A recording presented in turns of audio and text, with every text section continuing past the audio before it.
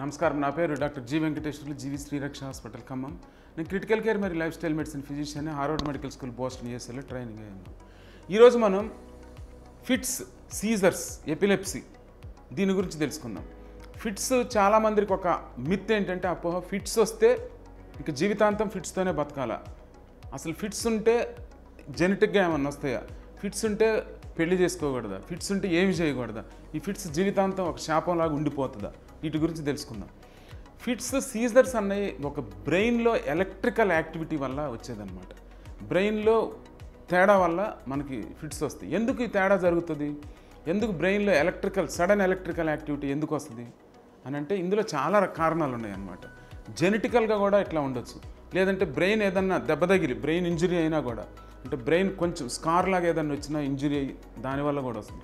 Infections బ్రెయిన్లో infections ఉన్నా కూడా అంటే మన మెదడువ్యాపి వ్యాధి అంటాం కదా అట్లా ఎన్కెఫలైటిస్ మెనింజైటిస్ ఇట్లాంటి ఇన్ఫెక్షన్స్లో కూడా సీజర్స్ వచ్చే అవకాశం ఉంటుంది. అలాగే బ్రెయిన్ ట్యూమర్స్ బ్రెయిన్లో ఏమైనా గడ్డలు లాంటివి ఉన్నా కూడా ఫిట్స్ వచ్చే అవకాశం ఉంటుంది.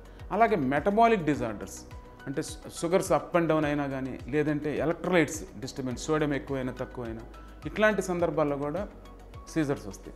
సో ఈ సీజర్స్ని according to the reason cause ఏంటి దాన్ని బట్టి మనం సీజర్స్ అన్నీ తగ్గుతాయా లేదా అసలు ఏం మందులు ఆడాలా ఉత్తగనేది అయితే చిన్నపిల్లల్లో చూసుకున్నట్టయితే మనం చిన్నపిల్లల హై గ్రేడ్ ఫీవర్ వచ్చినప్పుడు ఫిట్స్ వస్తాయి. అది ఫెబ్రైల్ సీజర్స్ అంటారు. అంటే బికాస్ ఆఫ్ హై టెంపరేచర్ తట్టుకోలేక పిల్లల్లో సీజర్స్ వస్తాయి. ఇవన్నీ టెంపరీ అనమాట పెద్దవాళ్ళు అయిపోతూ ఉంటే ఇది తగ్గిపోద్ది ఇంకా రాదు. అలాగే పెద్దవాళ్ళలో ఇఫ్ సపోజ్ సీజర్కి కారణం ఒక షుగర్ డౌన్ అయ్యి రావటం అనుకోండి అది జీవితాంతం ఏమి ఉండదు తగ్గిపోతుంది. ఎలక్ట్రోలైట్స్ అయితే ఎలక్ట్రోలైట్స్ మనం రీప్లేస్ చేసి ఇస్తే అలాగే సపోజ్ ఒకళ్ళు బ్రెయిన్ ట్యూమర్ వల్ల వచ్చిందనుకో బ్రెయిన్ ట్యూమర్ సర్జరీ అయిపోయినాక కొన్ని రోజులు మందులు ఆడాల్సి ఉంటుంది. ఆ కొన్ని రోజులు అంటే ఒక వన్ ఇయర్ టూ ఇయర్స్ మందులు ఆడిన తర్వాత ఫిట్స్ ఏమి రావు. జెనెటికల్గా వచ్చే ఫిట్స్ అంటే మన కారణం ఏంటి కరెక్ట్గా తెలియదు అనమాట ఇవన్నీ కూడా ఏంటి ఎందువల్ల అంటే chemical imbalance neurotransmitters imbalance వల్ల వచ్చే ఫిట్స్ కొంత కష్టంగా ఉంటుంది ట్రీట్ చేయటం. వాటిని కూడా మనం కొన్ని రోజులు రెగ్యులర్గా కొన్ని రోజులు ట్యాబ్లెట్స్ వేసుకుంటే సరిపోతుంది. ఫిట్స్ అన్నది శాశ్వత పరిష్కారం ఖచ్చితంగా ఉంటుంది. ఏయో కొన్నిటిలో ఉండదు కానీ చాలా వాటిల్లో శాశ్వత పరిష్కారం ఉంటుంది. అయితే ఫిట్స్ ఉన్నోళ్ళు ఏమేమి జాగ్రత్తలు తీసుకోవాలో?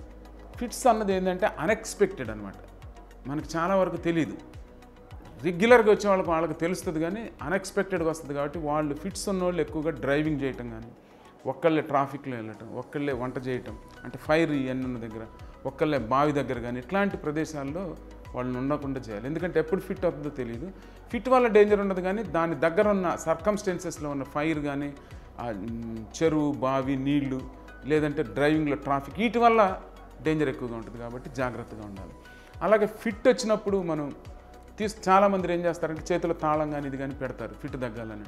కానీ అది తాళం పెడితే ఫిట్ ఏం తగ్గదు. ఫిట్ కొంతసేపు తర్వాత తగ్గుతుంది. It is a matter of few seconds to minutes అంతే అంతకన్నా ఎక్కువ ఫిట్ ఉండదు. అయితే ఆ సందర్భాల్లో మనం తాళం పెట్టడం తర్వాత కానీ ఏం చేస్తే మంచిది అని అంటే ఫిట్ వచ్చినప్పుడు అప్పుడే ఫుడ్ తిన్నారనుకోండి అది స్టమక్లో నుంచి ఫుడ్ బయటకు వచ్చి అది లంగ్లోకి యాస్పిరేట్ అవుతుంది అనమాట లంగ్లో పోతే డేంజర్ అవుతుంది అది లైఫ్ థ్రెట్ ఒకసారి ఆ యాస్పిరేషన్ వల్ల చనిపోతారు. ఆ యాస్పిరేషన్ అవ్వకుండా మనం కాపాడాల్సిన అవసరం ఉంది. అంటే పొజిషన్ ఈజ్ వెరీ ఇంపార్టెంట్ ఇట్లా ఎల్లికలు పడుకున్న వాళ్ళని ఒక పక్కకి లెఫ్ట్ కానీ రైట్ కానీ పక్కకు పడుకోబెడితే ఏంటంటే యాస్పిరేషన్ ఛాన్సెస్ చాలా తక్కువగా ఉంటుంది. మనం లైఫ్ సేవ్ చేయాలి కొంతసేపు తర్వాత ఫిట్ నుంచి బయటపడతారు. కొద్ది కన్ఫ్యూజన్ ఉంటుంది. పోస్ట్ ఇక్టల్ కన్ఫ్యూజన్ ఇవన్నీ ఉంటాయి.